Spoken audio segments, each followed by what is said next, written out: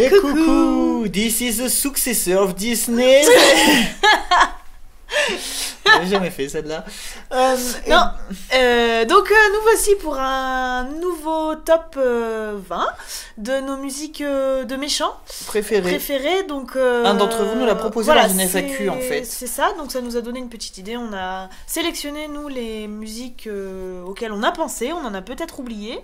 Euh, donc n'hésitez pas à nous. De toute façon, on a dit, on a donné un top 20, donc il y en a quelques-unes Voilà. qu'on a dû éjecter, mais il y en a peut-être certaines que vous adorez qu'on n'a pas pu mettre. pas pu mettre, donc n'hésitez pas à nous le, à nous le faire remarquer. On dit bien des musiques chantées par des méchants, parce que par exemple, on est tombé sur celle de Cruella, mais elle est chantée par Roger, donc voilà, c'est pas... tout à fait pareil. Là, on dit musique de méchants, et donc on va commencer donc de celle qu'on aime le moins à celle Celle qu'on qu'on préfère. préfère. Et ça a été assez difficile. Ça a été très difficile, oui, en effet, parce qu'on en a beaucoup, beaucoup qu'on aime. Et euh, pour les classer, euh, c'est pas Ah. évident. On va juste parler rapidement euh, en premier hein, de, oui, voilà, de... de, de musique de méchants qu'on adore mais qui n'ont aucun rapport avec Disney, donc c'est hors classement. voilà. Donc la musique de Rasputin. Rasputin, donc Anastasia, qui est quand même super entraînante, super Ah ouais, ah ouais, elle est Elle géniale. est vraiment géniale cette musique. Donc je sais pas si vous connaissez, euh, bon si quand même vous connaissez Anastasia. Voilà, et, J'espère. euh, et on, voulait- on voulait rapidement parler aussi de. Ben, on a parlé dans nos, dans nos petits top 3 de nos films De films oubliés de notre enfance, de Euh, Tom, et Jerry, le film, il y avait une musique, c'est le Je fric. trouve le fric vraiment magnifique. Tout à fait. Tout à fait.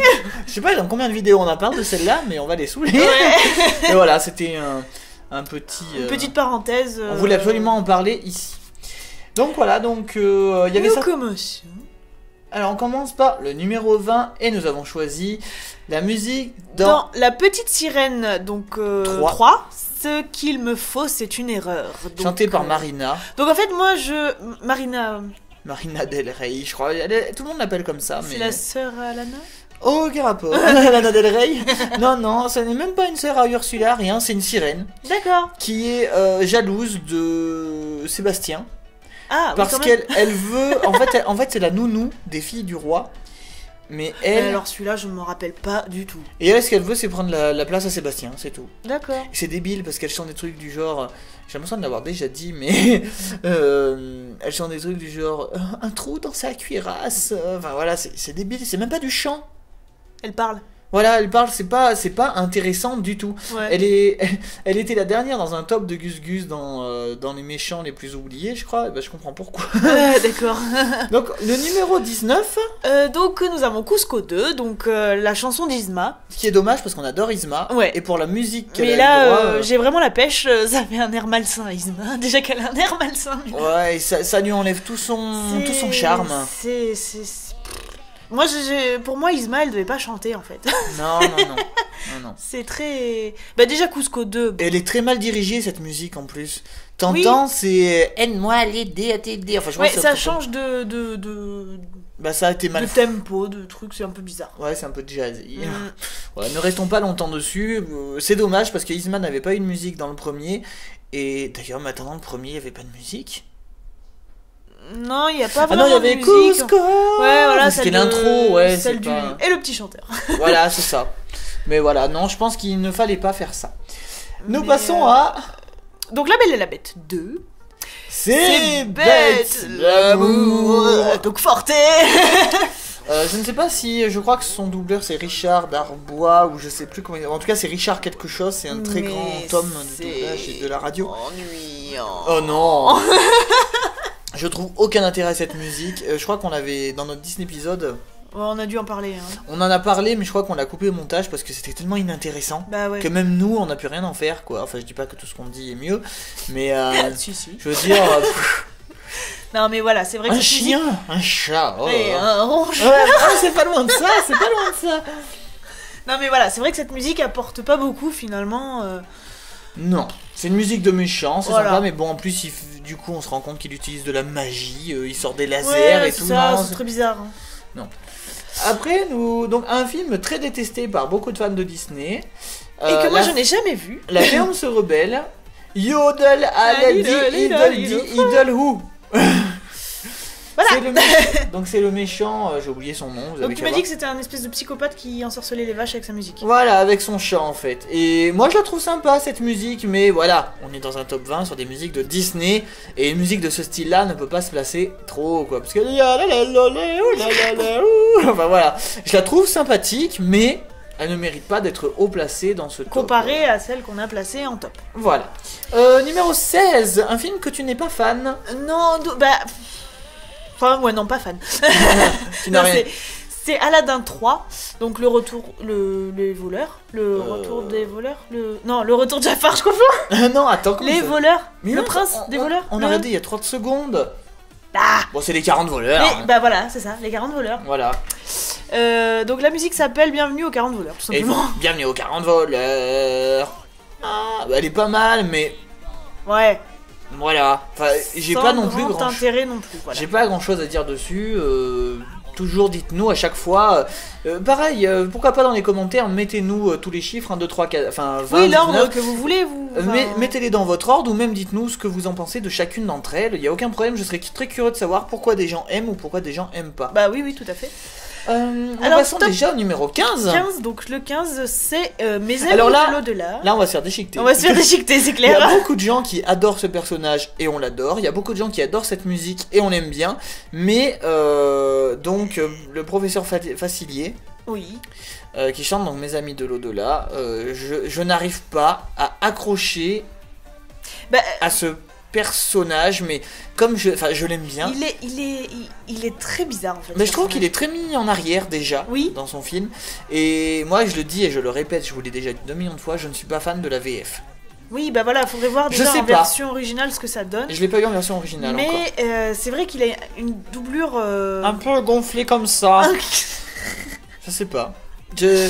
Je- Donc. euh, C'est pour ça qu'on a mis si bas. On voilà. est désolé, on va se faire déchiqueter quand vous allez voir certaines qu'on a mis plus haut, mais on l'a dit, c'est notre top personnel à nous. Oui, donc Euh, euh, ça veut pas dire qu'on l'aime pas. Voilà. Mais euh, voilà, elle nous a pas déçus non plus. On l'aime bien, mais, non, non, non, elle mais aurait voilà. pu. Pour moi, elle aurait pu être mieux. Oui. Après, peut-être que c'est la VF qui la baisse. Je ne Je sais, sais pas. pas, ouais. Alors après, euh, donc en 14, réponse, n'écoute que moi, De Mergotel, qui est rigolote. On aime qui est rigolote aussi. N'écoute que moi. De grosses bestioles. Bestiole. non, je l'aime bien celle-là, hein, je l'aime bien, mais même si on l'a mis en 14. euh, Après, toi, tu m'as dit qu'elle t'énervait un peu. Bah ouais, je sais pas. Bah en fait, le personnage de Mergotel m'énerve un peu. Bah, façon- vous allez me taper sur les doigts, hein, certains qui aiment Mergotel, non, mais... non, non, non, mais non, mais elle est faite pour être énervante quand Euh, même. ouais. Si, si on devait faire. euh, faudra qu'on fasse un jour un top de nos méchants Disney préférés, d'ailleurs, vraiment de ce style-là. Mais elle, elle qu'on le veuille ou non, elle est assez haut placée parce que c'est quand même un sacré taux de Ah, elle est cruauté. vicieuse, elle est... de d'enfermer un- une enfant comme ça aussi longtemps, lui faire croire que tu l'aimes et tout, je trouve que c'est vicieux. hein, Ah, non, non, non, non, elle est, elle est, elle est fourbe. On n'avait pas fait un top sur nos méchants préférés Non, je crois pas. Non, on a parlé, mais on l'a pas fait. Hein. On a fait tellement de top qu'on est perdu. Ouais, tu m'étonnes. Non, je vais, je vais le marquer top de nos méchants préférés. Toi, continue. Euh, alors, donc, euh, Princesse en live... Euh, non, je... Bienvenue sur Radio Princesse Tout de suite C'est la Oh, pub. Euh, donc, alors, on en était 13. Et confiance, donc, de K. Voilà. Donc, dans le livre de la jungle. Donc, c'est pas vraiment une musique à Voilà. part entière. Mais elle est quand même hyper, hyper, hyper, hyper symbolique. Oui. Quand même Bah, c'est sûr que quand tu penses au livre de la jungle, tout de suite, tu penses à Et confiance. Enfin, Oui. en grande partie. Et confiance. Et encore une petite parenthèse par rapport au film Oui. qu'on a été voir. Que- Comment ils l'ont bien C'est réintégré la musique. putain. Non mais cette musique, elle est. Même si c'est est- une voix de femme, Ouais. ça choque pas en fait. Non, c'est parfait. tu sais, c'est- dans la bande-annonce, on s'était dit, C'est- c'est c'est bizarre, c'est une voix C'est de encore femme. et plus tout, charmant. Ouais, enfin, ouais, c'est ouais. c'est exactement ce qu'il fallait. Ouais. Donc voilà, rien à dire de spécial dessus. Comme euh, c'est pas, et beaucoup de gens vont nous dire c'est pas une musique, nanana, mais c'est quand même. C'est quand même un méchant symbolique. Ah oui, c'est obligé. Même si on peut pas dire que. Enfin, si, quand même, c'est un méchant. Il veut C'est un Mowgli. méchant, mais il le considère pas comme un vrai méchant. C'est ça qui est marrant. Même dans le film d'ailleurs. Mm. Euh, numéro Oh. 12 Alors, La Belle et le Clochard, donc c'est la chanson des. Siamois. Nous les frères moi. Ce qui est à toi est aussi à moi. Tan. Euh, On l'a donc, mis vachement haut celle-là parce qu'elle est vraiment euh, hyper Elle est symbolique. psychopathe cette musique. Elle est symbolique, psychopathe, courte aussi, Oui. mais euh, elle est bien écrite. Enfin, même, enfin, j'ai pas écouté en version originale pareil, mais je trouve que au niveau des jeux de mots en français et tout, mais c'est c'est Ouais, ouais, génial. Rien à dire de spécial dessus, mis à part que quand on est petit, ça perturbe Ça un perturbe un peu. peu. Les deux chats qui sortent en même temps de Ouais, ce panier ouais. et tout, oh là là. Non, c'est glauque un peu quand même. hein. Ouais. Nous passons à Hi di, di, di, di, en numéro 11. Donc de grands coquins. Voilà, donc euh, oui, euh, à ce moment-là, on sait pas hein. que c'est un... Voilà, dans Pinocchio. on sait pas que c'est un méchant, nanana. Mais C'est c'est une musique de méchant. Et cette musique est pareil, très symbolique pour ceux qui ont vraiment connu jeune. Ouais. Et Euh. il fallait qu'on la mette assez haut. Hein. Aïe, di, di, di. Quand tu Nanana. prends ton café lit, là, elle est géniale cette musique, sérieusement. Donc voilà, rien de Euh, spécial à dire de Non, voilà. Après, nous avons 10. Madame Mime. On, rentre dans le top 10, Attends, attention. ouais, top 10. Là, là, ça a été très dur de Ah ouais, d'ordonner. Hein. Donc on Madame Mime. Madame Mime Totalement de- de déchaînée. Merlin. Ouais, elle est folle cette sorcière. Euh, bah la chanson, euh, Madame Mime, elle a une voix de crécelle. Oh c'est ça qui est. Sauf quand elle se transforme, je peux être aussi belle. La la la la la la la la Mais il faut pacifier. Je suis mime. Elle s'arrache la tête et je suis la bête qui rame. Non, elle est folle. Non, elle est vraiment géniale cette musique. Trop mise de côté, et comme on disait. Mais c'est vrai, elle est finalement elle est euh, oubliée. C'est pas vraiment la méchante du film, quoi, tellement on la voit trop peu. Mm. Euh, Tunek, après on passe au numéro 9. Alors, beaucoup de gens vont nous engueuler parce qu'on sait que beaucoup de gens aiment pas les suites du. de- d'Aladin. Mais le retour de Jafar, il est quand même bien. Et donc, du coup, vous attendez bien parce que dans le retour de Jafar, il y a une musique bien De Jafar. spécifique qui est Tu n'es qu'un amateur.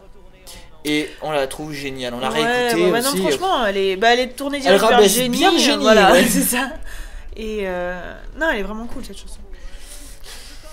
Euh, C'est toi de passe-passe pour euh, la folie des grandeurs, on est passé à la hauteur, tu n'es qu'un. Elle est vraiment géniale.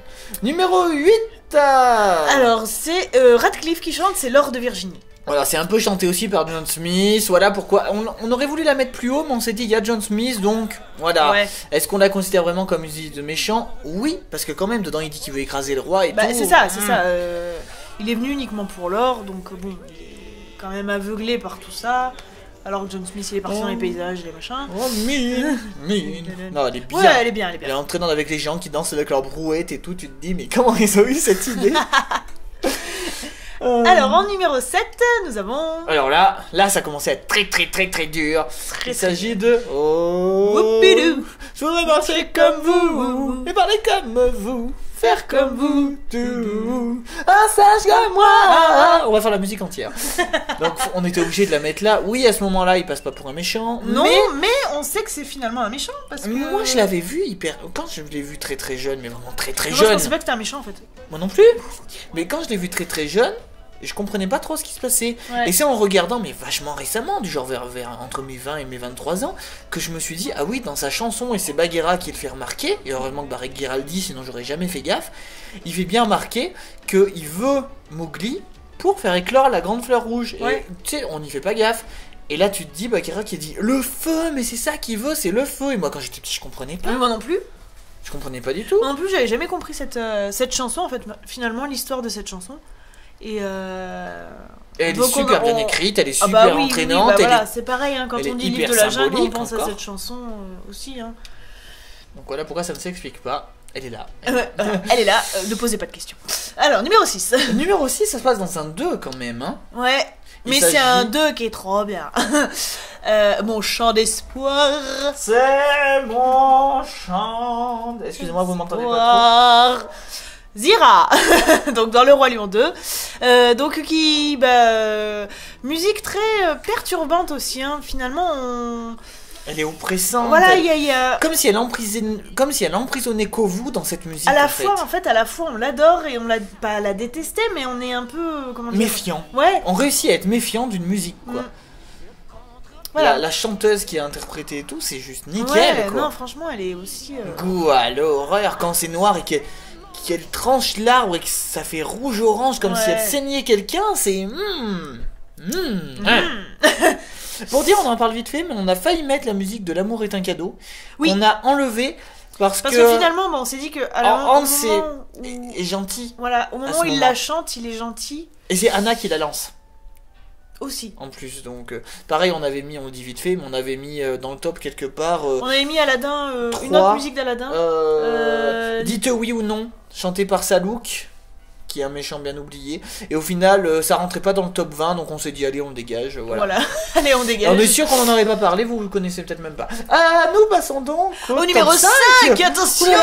Ça commence à être chaud Et nous avons mis un beau gosse de première Oh là là, on commence à avoir trop chaud. Le plus fort c'est Gaston, l'enfoiré c'est Gaston et personne n'a un gros menton. Euh, Non c'est quoi? Il y a du poil au menton comme Gaston? Bah, Une moment- fossette au menton. Mais non, je suis sûre que dans cette musique, il y a plein de trucs un peu vicieux, dégueulasses. Parce que je te jure, personne pisse comme Gaston, ça c'est sûr. Mais à un moment, à un moment donné, j'avais l'impression qu'il disait. Alors, vous allez, tu vas mettre un tut hein, quand je vais le dire. Personne n'a les couilles de Gaston. non je laisserai. Et en fait, il le dit pas, mais j'ai toujours compris qu'il disait ça. Ils vont tous aller réécouter la musique. En fait, c'est les chevilles, je crois, un truc comme ça. On a des chevilles comme Gaston. si ça se trouve. Mais je te jure, cette chanson, en fait, elle est vicieuse. C'est vrai qu'elle sonne vicieuse, perverse. hein. Ouais. Donc voilà pour le cinquième. Quatrième, alors oui, beaucoup de gens vont se dire ouais bof, mais elle est quand même Elle, elle a beaucoup, beaucoup de sens, cette chanson. pour le numéro très- 4. Et on a choisi une autre musique de Euh, Radcliffe, Radcliffe, qui doit être le seul méchant à avoir de musique. on croit. Il s'agit de Des sauvages. des sauvages, même pas des êtres humains. Non mais voilà, c'est c'est quand même vachement euh, raciste. Ouais. Elle, est, elle est profonde cette chanson. Qu'est-ce qu'ils disent de spécial Euh, Alors on n'est pas raciste, attention, hein, mais je me souviens qu'on l'avait fait remarquer dans oui, le Disney épisode. oui. euh, Et ben il dit euh, ils ne sont pas S'ils ne sont pas blancs, ils, ils sont, sont forcément, forcément méchants. méchants. Et du côté des Indiens, c'est. euh, Ils ne sont pas comme nous. euh, Méfiez-vous de ces voyous, je sais plus, attends. Ah, mais il y a un truc beaucoup plus raciste, attends, attends, attends. Ouais, ouais, ouais. Ah, du côté des Indiens, c'est pire. sais plus. Euh, J'ai oublié. Ah mince, en plus, j'ai vu Disney épisode il y a pas longtemps. Ouais, je me Euh, rappelle plus. Euh... L'homme blanc est un démon. Oui. Il dit L'homme blanc est un démon. Ils le disent bien. Ouais, ouais, ouais. Donc voilà pourquoi on l'a mis ici, parce qu'elle est quand même. euh, je pense qu'on aura plus de musique autant agressive. Non. Maintenant. Non, bah non, attends, parce que ça ferait parler trop. En numéro 3, on a mis Shakira qui chante. Waka waka, eh, eh non, là on rentre dans le top 3, donc là ça a été impossible pour nous. C'était infernal, c'est le cas de le dire. Et voilà, exactement. Et donc vous avez compris, on a mis Frollo. Frollo, infernal. qui est une musique mais d'une d'une d'une d'une d'une vicieuseté, Ouais, d'une perversité mieux, là. qui est incroyablement forte. Et on voit Esmeralda danser à poil dans les flammes et tout. Non mais c'est vrai, c'est c'est c'est d'une euh, cette musique infernale avec les musiques qui glissent derrière. Et tout, ouais, ouais. Et euh, après quand les euh, les moines ils sortent du sol Ouais, et non, tout. mais ça- Oh ah Non, non, non, mais Cette musique-là, elle est quand même. Non, mais des Disney comme ça, comme des sauvages infernales, des musiques comme ça, je crois pas que ça se refasse un jour. non, je pense pas, c'est totalement Il y aura jamais des. Disney aussi profonds, Avec des vrais instruments sujets comme euh, ça. aussi. euh, Enfin, Infernal, le mec il dit que s'il couche pas avec elle, il veut la, il veut la bah, brûler il veut quoi. la tuer, quoi, en fait. euh, Parce que on a euh, beau dire Parce qu'en que, fait, il est tellement amoureux, acharné, et il faut qu'il que quand vous lui. que quand vous êtes adulte, vous vous rendez compte que c'est pas juste de l'amour qu'il veut quoi. Ouais, voilà, mais c'est ça, c'est c'est quand même. euh, Enfin bon, bref. voilà, enfin il y a tellement de choses à dire. Alors là, vous allez peut-être nous en vouloir, mais vous allez nous aider ou non parce que nous on, ré- on réussira pas à changer d'avis. Mais vous allez vraiment avoir votre avis là-dessus. En place une et deux, on n'a pas pu choisir. Non, on n'a pas pu choisir parce que ces musiques sont vraiment toutes les deux euh, bah, bah, sur le même, la même enfin le même. euh, Pour nous. pour nous, Pour nous, sérieusement, on y restait un quart d'heure, on n'a pas réussi. On a pris les points forts, les points faibles. Et euh, on a essayé de mettre de côté la nostalgie, mais même comme ça, elles Non, sont restées ex aequo. Donc on vous le dit, le numéro 1 et le numéro 2, pour nous, sont toutes les deux numéro 1 et 2, parce qu'on n'arrive pas à choisir. Donc, ou quelque part, c'est la numéro 1 ex aequo. Prenez-le comme vous voulez. Ouais. Et donc, du coup, on vous mettra un sondage et euh, déblatérez dans les commentaires si vous voulez. Donc, vous avez un sondage en haut à droite, comme d'habitude. Et nous, nous avons hésité et nous avons préféré les mettre ensemble. Donc il s'agit de Pauvre amant perdition En mal de dessous de, de Ursula, Ursula et Soyez prêts. de Scar. Voilà. voilà, à plus. Non. Non, mais voilà. Déjà, la musique d'Ursula est la, est la première musique d'un méchant. Ouais. La Vous allez dire, on a parlé de grand coquin, mais c'était pas une musique. C'est la première vraie musique euh, qui a une bonne durée, qui, qui, fait vrai, qui sonne vraiment méchant, qui. Voilà, qui montre à quel point euh, elle est manipulatrice, C'est enfin. ça, c'est ça. Elle est vraie- Et puis qui se termine avec ce moment que j'adore de Ariel. Ouais, putain. Allez, chante Ah, j'adore ce moment Ouais. Chante, mon enfant Et, et Ouais. Génial ce moment. Et donc, euh, soyez prêtes, mais génial quoi. Cette espèce de dictature qu'il est, en train de mettre à dire on va. Ah bah c'est sûr que c'est fait très euh, politique là pour le coup. Ah oui, mais que c'est. Disney a, Vote Escar, vote Escar, vote Escar. Disney a totalement. euh, Mais oui, c'est ça. Tu sais, quand tu vois les hyènes qui marchent toutes en randonnion, là, qui sont toutes. Ouais. euh, Avec la tête tournée ouais, d'un fait côté. et- ça, ça fait vraiment. Bah, ça fait vraiment, on va à la guerre. on- Enfin. Donc voilà. Ça euh, fait. C'est comme tu dis, ouais, ça fait dictature en fait. Donc voilà, pour nous ça a été impossible. Et pourtant, Princesse a dit. Elle a dit c'est vrai que Le Roi Lion est mon film préféré, j'ai envie voilà. de le mettre en premier. J'allais Mais pas le mettre en premier sous prétexte que c'est mon film préféré. C'est c'est débile, ça a aucune. Bah ouais, aucun coup. argument, ça c'est. c'est- C'est pourri. Euh, Donc voilà, et deux ex ou un ex comme vous voulez. Voilà, et enfin, votez sur laquelle dedans ces deux-là est votre préféré, comme ça, et ben on saura. Ou peut-être que vous aurez une préférée parmi celles qui ont été passées. Avant, dites-le nous dans les commentaires, il n'y a aucun problème. Euh, quelque part, c'était plus un top 19 comme les deux. Mais non, parce qu'il y a 20 musiques. Oui, mais oui, voilà, mais c'est juste que voilà, Bah, on voilà. sait pas. Donc euh, voilà, euh, bah, dites-nous tout dans les commentaires, votez bien et n'hésitez pas à nous proposer des nouveaux tops, même si on a deux chroniqueurs qui font déjà des tops.